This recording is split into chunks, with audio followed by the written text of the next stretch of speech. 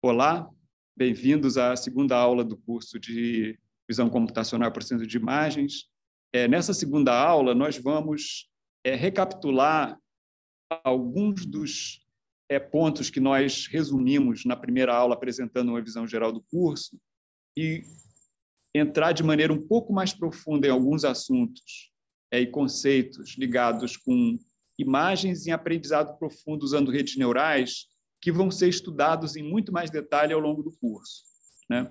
Então, essencialmente, eu vou dividir a aula em duas partes. A, primeira parte eu vou falar de conceitos básicos de processamento de imagens, visão computacional e de aplicações em imagem. E aí depois eu vou falar de conceitos básicos e é, metodologia de aprendizado profundo para sinais e para imagens, como a gente falou na aula passada.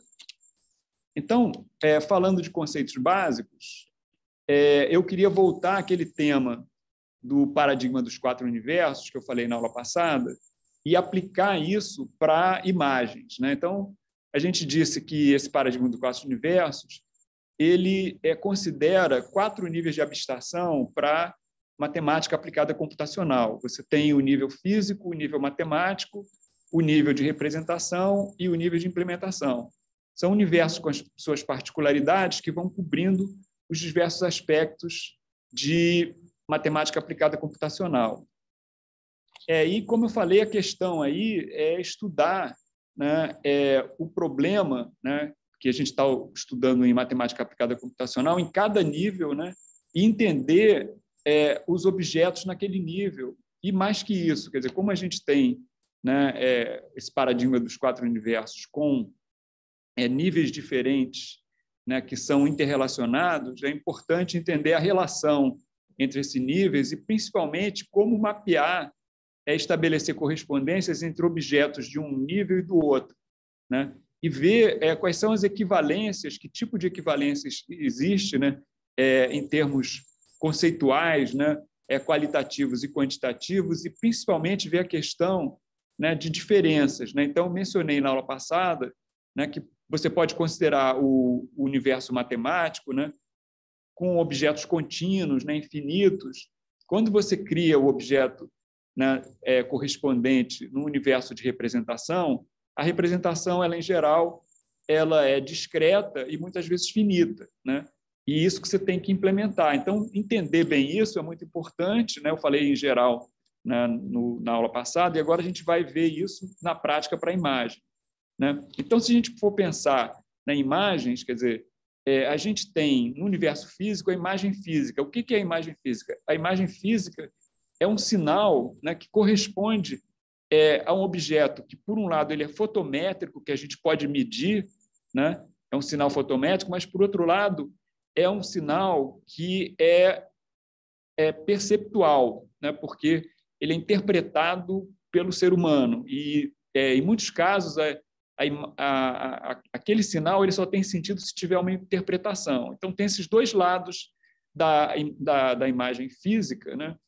que a gente vai modelar ela né, no universo matemático por algum modelo matemático através de é, objetos matemáticos que capturam essas propriedades essenciais tanto da imagem física quanto da imagem perceptual, né? no, sentido é, fotométrico e no sentido perceptual.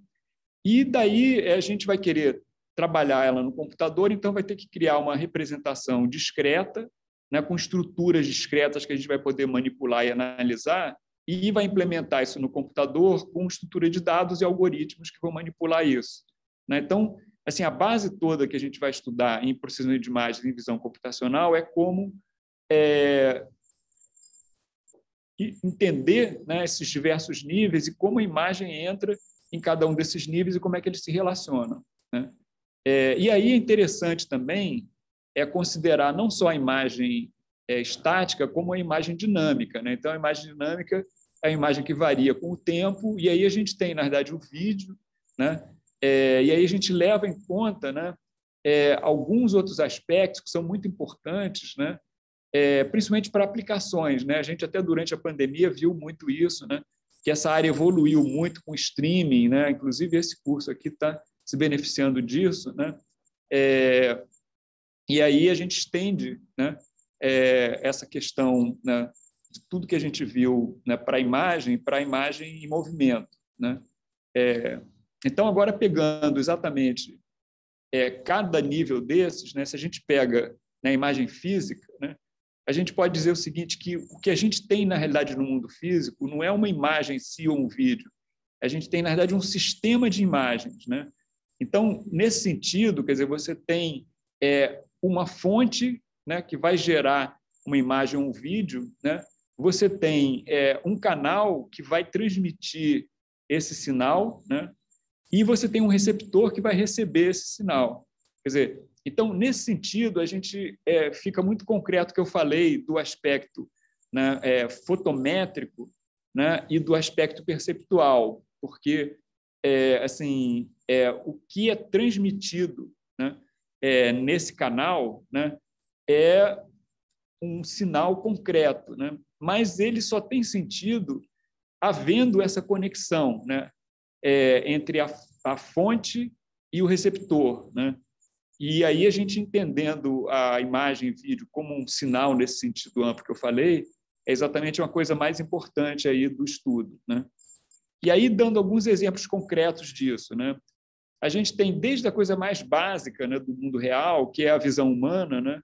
Porque a visão humana é um sistema perceptual, né, que é a fonte, né, é o mundo real, quer dizer, são ambientes tridimensionais, com iluminação, com os objetos, tem toda a física ali que quando a gente estuda é, sistemas gráficos e modelagem geométrica, a gente estuda isso, né, simular a física da visão, né? É, mas no nosso caso a gente está interessado é, nesse estímulo visual, que como ele chega no sistema perceptual. Então, na verdade aí é o, o sistema, é o mundo, como ele funciona e os nossos olhos e o nosso cérebro, né? É, e aí você tem, né, além do, do aspecto né, de imagem natural, né, você tem o aspecto de imagem é, artificial, né, industrial. Né? Então, você tem a fotografia, né, que é para é, imagens estáticas. Né? Então, você tem uma câmera né, que tem é, um sistema óptico, tem sensores né, é, e produz imagens estáticas, e tem a televisão, que tem um sistema óptico, mas tem uma maneira de registrar é, imagem em movimento e também aí o canal de distribuição para vídeo né, pode ser né, televisão, né, que é o vídeo né, de broadcast, né, que tem transmissão é, por ondas de rádio, né, e você tem começa a ter novos sistemas, né, é, que a gente está usando muito, né, que é o vídeo na internet com streaming, né, é, e aí esses novos sistemas eles podem se beneficiar né, de matemática aplicada computacional e matemática cognitiva. Né? É o que é chamado da fotografia computacional né? e novos sensores, que são câmeras mais sofisticadas. Né? Então, hoje em dia, se você pega um telefone celular de última geração, seja ele né, um iPhone, um, um Android, é, ele, na verdade, a câmera é uma câmera de vídeo que funciona usando é, redes neurais, tem processadores né, é, para é, redes neurais no, no, no, dispositivo, tem firma especial para isso, e muitas vezes tem sensores que capturam não só é, a radiância, né, mas capturam informações geométricas, como né, a distância né, de cada ponto na cena a, ao, ao ponto, ponto, nodal da câmera. Né? Isso permite uma série de aplicações. Então, o, que eu queria enfatizar aqui é que a gente está é, assim, juntando a matemática né, para sinais de mídia, né, é, levando em conta a percepção humana e a matemática cognitiva, inteligência artificial usando redes neurais. Né? É, e aí, para a gente entender um pouco melhor né, como faz essa modelagem, quais são os melhores modelos no universo matemático, é importante a gente voltar àquela discussão né, do objeto de mídia né, e entender que o objeto de mídia tem um suporte geométrico, é, e, e, a função de atributos pode ser modelada de uma certa maneira, né? e ver como é que isso é, se encaixa dentro de um sistema de comunicação. Né? Então, como eu falei, aí tem um outro aspecto interessante, né, que eu falei, é, uma imagem ou um vídeo ele só tem sentido se ele é interpretado. Né? Então, você tem, né, é, o Marshall McLuhan dizia que é o meio é a mensagem, né? quer dizer, então, assim, essencialmente, o conteúdo ali que, por exemplo, em visão computacional, né, inteligência artificial, a gente vai querer fazer é entender uma cena, né? É, então, é, a gente tem toda uma técnica de entender é, uma cena, porque para interpretar uma imagem, você tem que entender a cena, entender o conteúdo.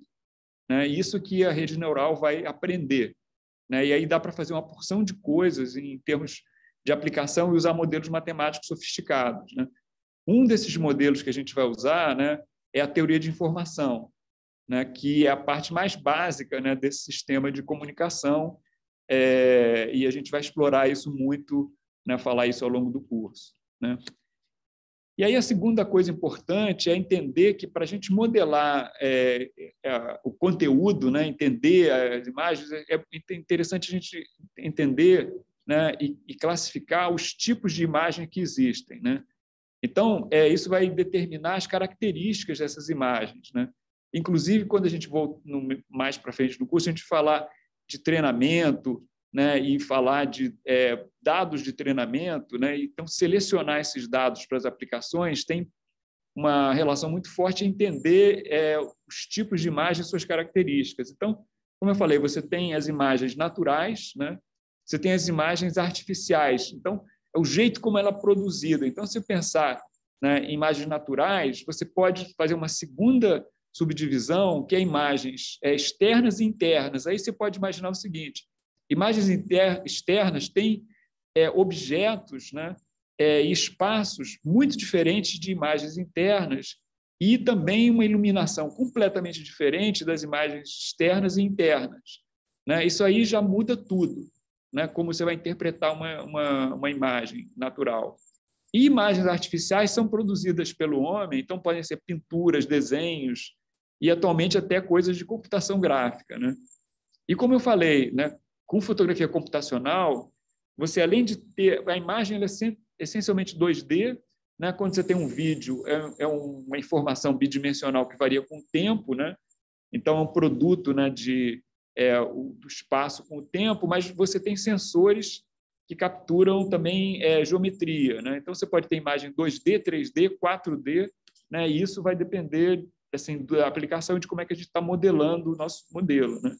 É, e eu falei, quer dizer, é, essa dimensão extra né, pode ser o tempo, e quando essa dimensão extra é o tempo, ela é especial, porque é, se a gente for pegar a física e a própria matemática né, de coisas dinâmicas, né, é, você tem um sistema dinâmico que tem certas regras. O tempo não é uma variável é, assim normal, né, é uma variável é, que é tratada de um jeito especial. Né?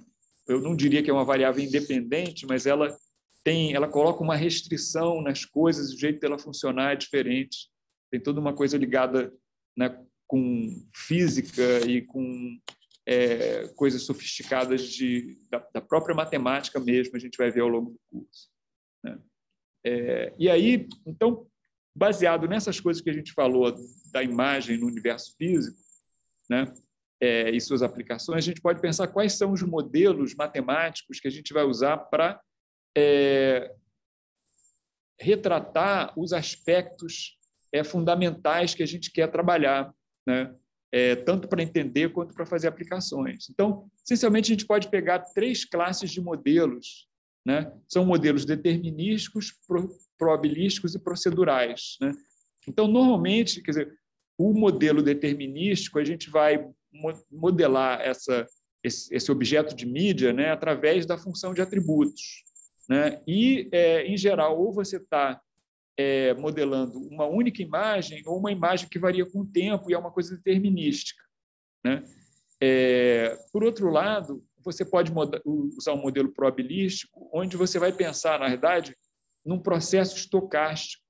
Né? É, e esse processo estocástico ele pode representar uma classe de imagens. Né?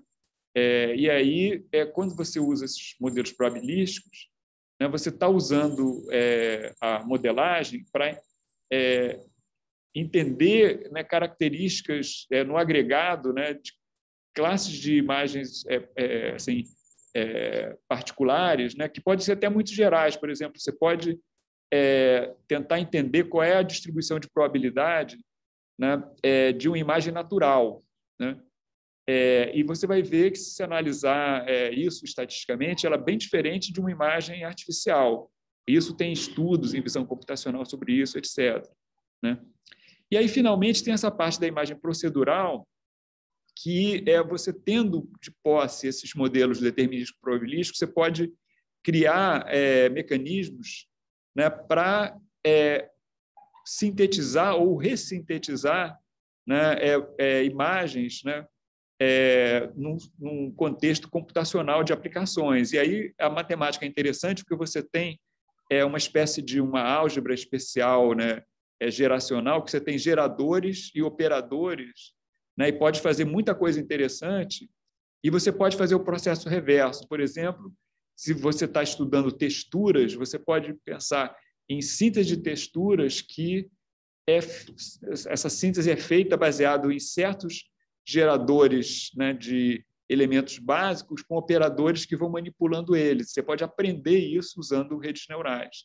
Né? Então, é, na verdade, esses três tipos de modelos matemáticos eles se complementam né? e alguns têm é, uma importância maior para um certo tipo de aplicação e outros para outro. Por exemplo, né, é, é, quando falei de modelos probabilísticos, você vai ter isso muito para análise de imagens, para é, entender é, uma classe de imagens e poder fazer classificação, né, segmentação e tal. Modelos determinísticos você pode usar né, para fazer é, reconstrução. Né? É, e modelos procedurais tem essa parte toda generativa que a gente vai ver também um pouco mais no final do curso. É, e aí, é, quais são os problemas que a gente encontra né, nesse contexto? Primeiro é a gente tem vários modelos matemáticos, né, é, dessas naturezas que eu falei, determinística, probabilística e, e, e, procedural, e a gente tem que trabalhar com eles na prática, então tem que computar esses modelos, fazer é, cálculos e, e, operações com eles, né? E muitas vezes a gente vai querer fazer conversão de um modelo para o outro, né? E também pode levar em conta que a gente pode ter modelos híbridos, que vai combinar esses modelos. Então, isso aí tudo a gente vai ver ao longo do curso de maneira específica. Né? Uma coisa que é muito importante, que está no contexto não só de visão computacional, de processamento de imagens e agora, mais recentemente, né, é, em aprendizagem de máquina, é assim a teoria básica de visão computacional do David Marr, que é considerado o pai da visão computacional, um dos pioneiros, né? E ele diz que é, a, assim, as imagens né, em visão computacional, em termos perceptuais né, e matemáticos, é, você pode é, analisar elas em três níveis, né? no nível baixo, no nível intermediário e no nível alto. Então, é, uma imagem no nível é, baixo, essencialmente você tem o dado bruto que vem de algum sensor que está capturando o sinal, que está capturando a imagem. Então, assim, na prática, a gente tem os pixels, que são os elementos da imagem, né? picture elements. Né? É, e aí, é, se a gente quer entender e fazer operações com essa imagem, com esse sinal, a gente vai ter que colocar a estrutura nela, né, num nível intermediário. E aí tem toda uma teoria de que os elementos importantes dessas estruturas são arestas e texturas. Né? E é, daí, uma vez que você tem essa estrutura, você pode entender o que, que tem na imagem, porque você vai ter regiões né, é, que correspondem a objetos, e aí você pode fazer uma análise cognitiva né, é, da cena, considerando o que, que é cada objeto nessas respectivas regiões. Né? E aí isso aí é, corresponde na é, visão computacional e processamento de imagem clássico a você, na verdade, identificar features né, e segmentar a imagem. Né? Então, você tem é, a extração de arestas, análise de textura, né, é, reconhecimento de padrões, né, que são coisas clássicas da, de processamento de imagem e visão computacional e que agora a gente vai revisitar né, é, no contexto de aprendizagem de máquina usando redes neurais profundas.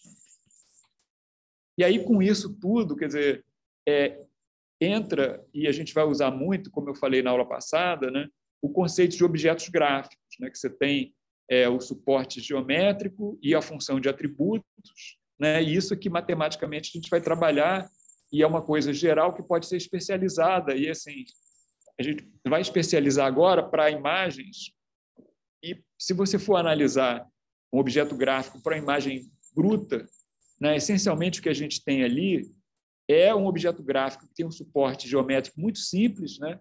é uma região do plano, em geral, é um retângulo, né? mas tem uma função de atributos que é muito complexa, né? que vai dar um valor diferente a cada é, ponto dessa imagem, né? que quando a gente discretizar vai ser um pixel. Né? Então, a questão é exatamente como é que a gente vai definir né, é, o suporte nesse domínio, como é que a gente vai modelar nessa função de atributos e qual é o tipo de atributo realmente que a gente está modelando. Né? Então, tudo funciona, como eu falei na aula passada, você tem o domínio contra domínio e essa função. Né? Mas, se a gente quiser ir além, né, e aí entender isso dentro do contexto do David Mark, tem aqueles vários níveis de representação, a gente pode imaginar o seguinte, que você tem espaços de objetos gráficos. Então, é uma imagem qualquer que seja ela, ela vai ser um objeto num espaço de imagens. Né? É, e aí você pode ter operadores que são operadores em espaços de, de, de objetos gráficos, de imagens. E esses operadores eles podem operar dentro de um nível só ou passar de um nível para outro. E aí, com isso, você cria uma representação e cria aquela estrutura que a gente estava vendo antes. Né?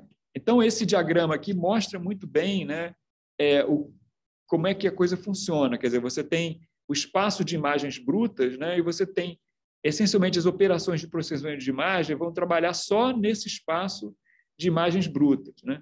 Aí você tem é, uma imagem estruturada e aí você vai ter operadores de análise de imagem. Né? Então, esses operadores né, é, são ligados com visão computacional. Né?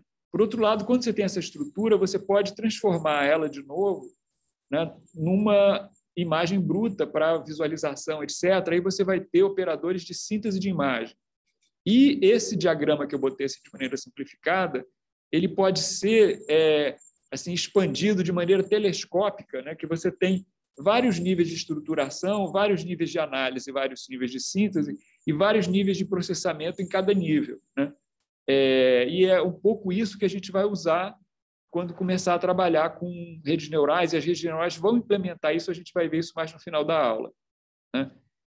E aí, para pegar uma parte matemática né, ligada com aprendizagem de máquina, né, é, a gente é, sabe que é, o aprendizagem de máquina né, é, e redes neurais eles são baseados né, é, em uma análise estatística né, dos dados né, para criar modelos de diversos tipos, né, probabilísticos.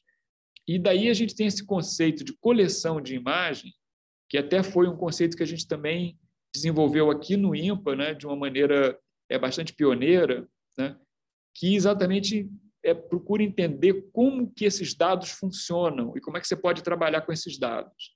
Né? E aí, essencialmente, você tem é, esses três aspectos, que é o registro, segmentação né, é, estimação de modelo e fusão, que, de uma certa maneira, está ligado com aquelas operações básicas que eu falei ali, e está é, tá ligado com como você vai é, usar isso num contexto é, tanto é, de aplicação e, e, mais especificamente, usando redes neurais. Né?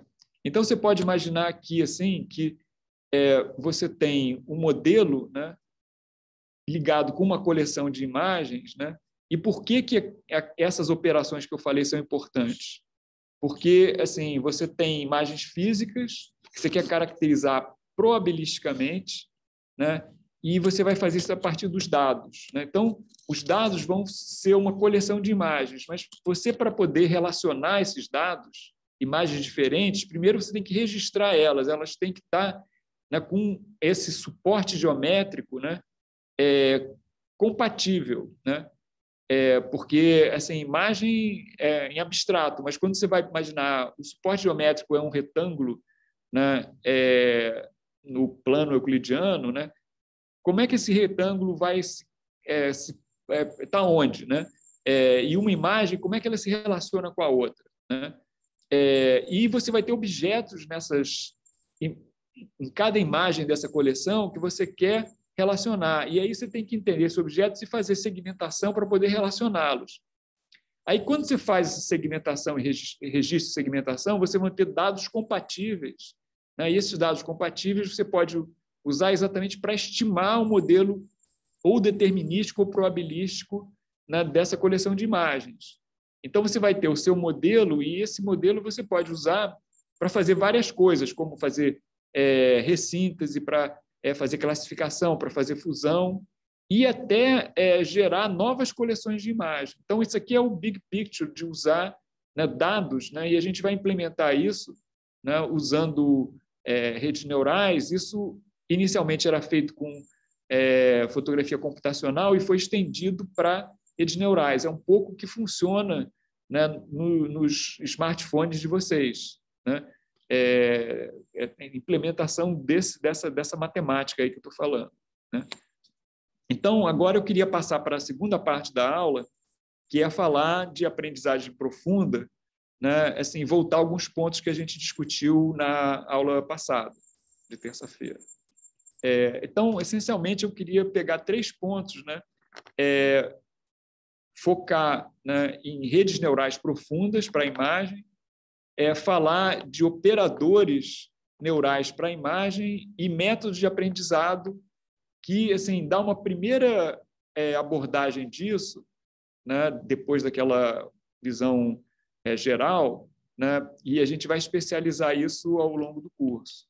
Então, essencialmente, voltando ao que a gente tinha falado, né, é, recapitulando, quer dizer, as redes neurais profundas elas são baseadas no que a gente conhece é, do cérebro e, em particular, da visão computacional. Né? A gente sabe que é, o cérebro humano é, ele é dividido em regiões que têm né, os neurônios conectados de maneiras diferentes e essas regiões se interconectam. Né? É, e é uma coisa que nem todo mundo sabe, mas quem estuda né, é, tanto visão computacional quanto neurociência, né, é, sabe que é, praticamente 60% do cérebro humano é devotado para a visão computacional, para a visão humana, né, para a percepção. E é, assim, a visão, é, esse mecanismo do cérebro humano é, que é visual, ele na realidade não é, se restringe unicamente à visão que é capturada pelo olho humano. Porque se for pensar, quando você dorme, né, você vê imagens. Né? E eu fiz trabalhos de pesquisa né, com cegos, e o cego também vê imagens, só que não são as mesmas que a gente vê. Né? Então, esse negócio muito essencial, né? e as redes neurais elas foram é, inspiradas nisso. Né? Não que elas modelam como funciona o cérebro, mas foram inspiradas nisso. E aí, como a gente falou é, na aula passada, né, recapitulando, quer dizer, as redes neurais elas são formadas com é, esses neurônios ou perceptrons, né, que são interconectados e a maneira como você interconecta eles vão estar ligados com essas diversas camadas, né, e com as arquiteturas de redes neurais, né. É, e a gente vai ver isso com bastante detalhe é, ao longo do curso, pegando aquela visão geral que eu dei dos vários tipos e arquiteturas de redes neurais. E aí, para fechar, né, eu queria falar exatamente de operadores, né, é, usando de imagem, usando redes neurais, né, e exatamente ligar isso com essas, essas é, operações básicas, que é a parte é, de é, entender uma imagem, né, é análise de imagem, a parte de representar a imagem em si e também depois a parte de síntese de imagem, né, a partir dessa representação. Então, como eu falei na aula passada, quer dizer, é, essa parte de é, entender uma imagem, de análise de imagem, ela é muito baseada é, na percepção humana né, e na maneira como funciona né, é, as células né, é, é, do perceptuais no cérebro. Né? Então, você tem, né, em camadas diferentes né, do sistema perceptual, células que vão detectar coisas mais simples e coisas mais complexas. Né? Então, essas características que elas vão extrair da imagem para criar a estrutura né, são baseadas é, em é, operações que essas células fazem, que matematicamente a gente vai é, estudar e ver que isso corresponde à operação de convolução, que é uma operação é, básica né, na teoria de Fourier e, e teoria de sinais. Né? E é, esses operadores eles entram nas redes de convolução exatamente para dar é, o espaço é, de modelos que a gente vai usar para aprender. Então, é o que a gente vai fazer, a gente vai ter operadores de convolução entre essas camadas da rede neural, né? e elas vão gerar né, esses mapas de características com níveis diferentes né, de estruturação, junto com outras operações que a gente vai ver ao longo do curso, que é mudança de escala e etc. Né? É, e com isso a gente consegue é, entender a imagem naquele sentido que o David Marr estava falando. Você tem desde a imagem bruta, que seria a entrada nessa rede, até é, a imagem estruturada né, é, e, e, compreendida. Né? É, então, isso seria parte de é, assim, visão computacional e entendimento da imagem. E aqui, concretamente, a gente pode ver, né, é, numa rede neural, como é que se manifesta, o que, que a gente aprende.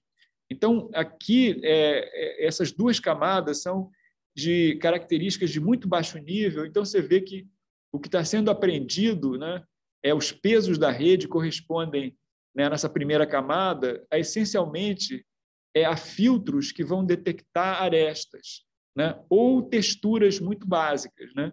Então você vê aqui que ele está, é, é, isso aqui é essa primeira parte aqui de cima que está né, é, com cinza e tal. Isso aqui é o, é o, são, é o filtro mesmo. Né? E aqui embaixo você tem as áreas da imagem que é, foram é, assim ativadas usando esse filtro. Então você vê que são arestas né, em direções diferentes. Né? As, as, arestas são essencialmente é, regiões de alta variação da imagem, né? que está ligado com gradiente. Depois vai falar isso mais ao longo do curso. Né? E aqui é a mesma coisa, quer dizer, você está detectando é, é, como se fossem arestas de segunda ordem, texturas. Né? Você tem aqui, por exemplo, nesse pedaço aqui que estou mostrando, tem umas texturas muito repetitivas e tal. Né? Aí você tem níveis intermediários, onde você já começa a ter regiões aqui né, e padrões. Né? Por exemplo, aqui em cima você tem esses padrões e tal. Né? E aí é um pouco mais difícil de entender esses filtros, né? É, e chegando né, numa parte de textura, de características de alto nível, né, você tem aqui já né, é, os filtros e é, operadores de convolução que detectam né, é, objetos mesmo e já sabe o que é objeto. Por exemplo, aqui você tem uma rede que foi treinada com imagens de cachorro, gato, etc. Aqui você tem uma área que tem é, várias é, imagens da, da, do, da, da, do, da cara de um cachorro, né? cara de cão. Né? E aí você tem rosto de pessoas, você tem é, flores, então ele detecta objetos. Né? Então, você vai aumentando a estruturação e você tem né, essa é, hierarquia de features. Né? Então, cada nível, quer dizer, os operadores de convolução tão, são treinados e especializados para sinalizar né, e gerar isso, e aí você usa isso depois no final para fazer classificação, uma série de outras coisas, como a gente viu de maneira geral na primeira aula. Né?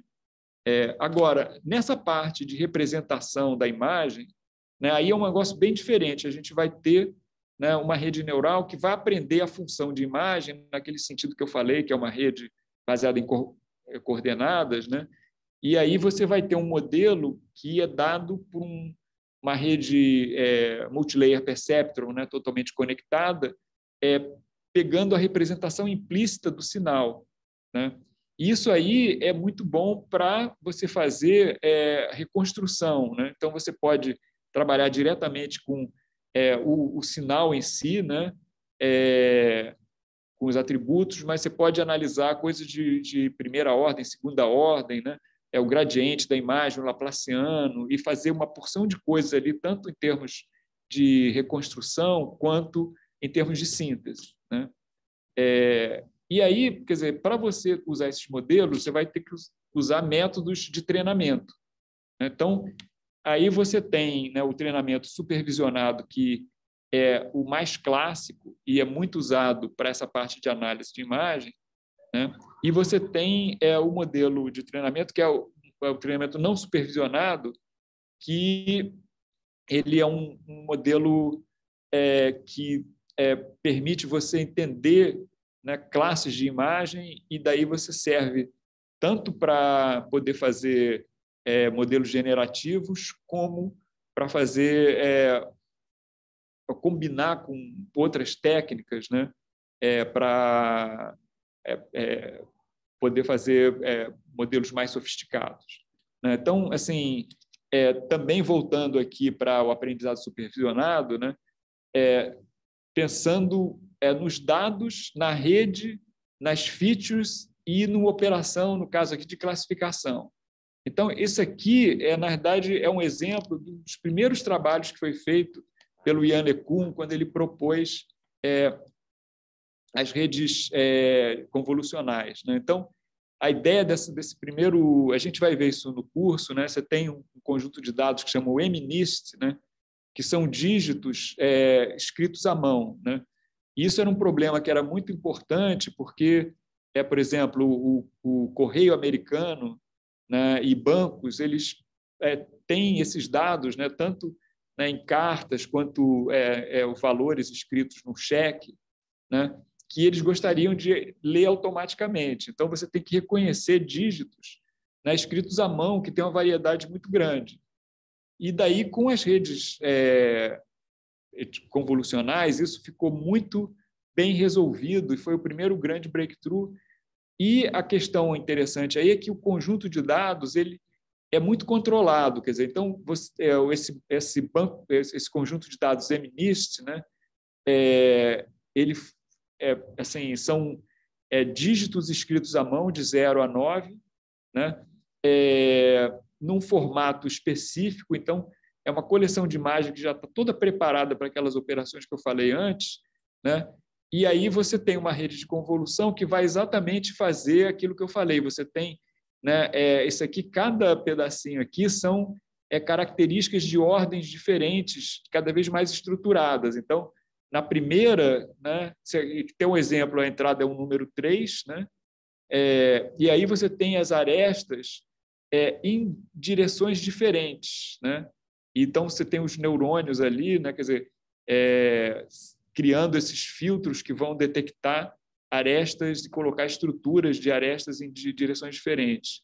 E aí você continuando é, nessas características de ordem mais alta, você vai pegando estruturações maiores né, dos dígitos, né, até ter uma coisa que é difícil de interpretar aqui no final, que você passa para uma rede totalmente conectada para classificação, né, e aí você tem essa representação que é chamada de one-hot encoding, né, que você tem um jeito de é, assim é um vetor, né, de 10 posições, né, correspondente a 0 e 9, e aí é um one-hot encoding porque ele coloca uma probabilidade muito alta é, num dos elementos e uma probabilidade muito baixa nos outros, e daí você diz, bom, se é o, é o quarto elemento, é o dígito 3. Né?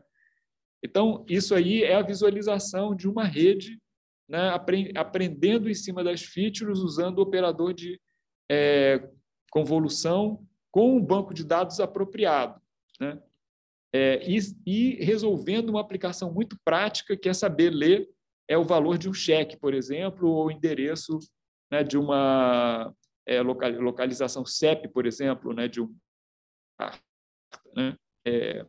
E aí você tem o aprendizado não supervisionado, que é um caso bem diferente, porque você não. Porque aqui, como é que você treina a rede no aprendizado supervisionado? Você vai é, dar é, uma imagem correspondente ao 3, né?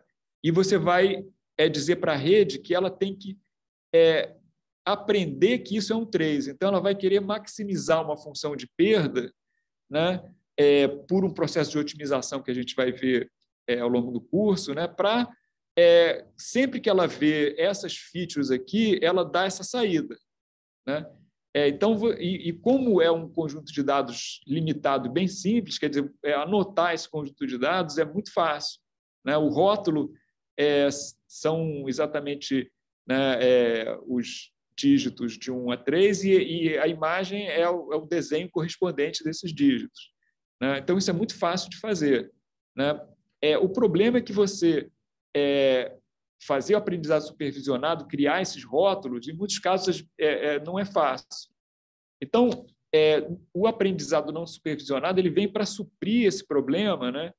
E aí você tem dados de treinamento que não tem rótulo.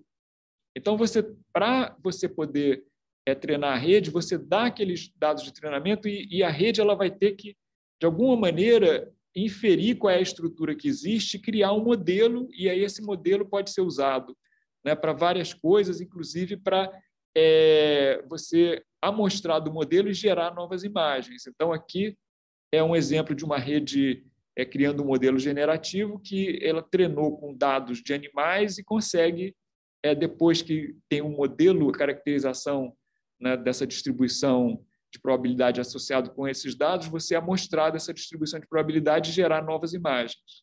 Né? É, bom, então é isso que eu queria falar. Eu vou desligar aqui a